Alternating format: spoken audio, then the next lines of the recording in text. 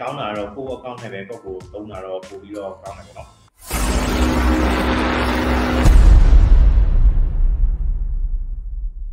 ကိုနိုင်လင်းထွန်း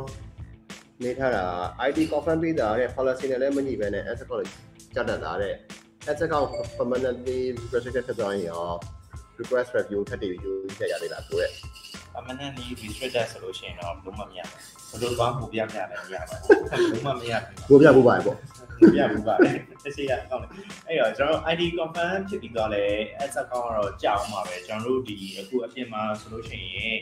အာ ID confirm ဖြစ်ပြီးသားဟို account တွေပြန်ဝယ်လို့ရတဲ့ခါတွေလည်းရှိတော့ရှိရပါတော့ဒါပေမဲ့ကောင်းတာတော့ကိုယ့် account နဲ့ပဲကိုယ့်ကိုသုံးတာတော့ပို့ပြီးတော့ကောင်းတယ်ပေါ့နော် အဲ့တော့ ID confirm ဖြစ်ပြီးရင်လည်း Facebook ရဲ့ policy နဲ့အာညှိတာပဲဖြစ်ဖြစ်ဒါမှမဟုတ် Facebook ရဲ့ AI ရဲ့သူ့ရဲ့ဟိုလိုအပ်ချက်ကြောင့်မှားပြီးတော့လုပ်လိုက်တာပဲဖြစ်ဖြစ် ads account တွေကတော့ကြာနိုင်ပါလေ။ကျောင်းလဲကြာနေသေးပါနောက်တစ်ခုက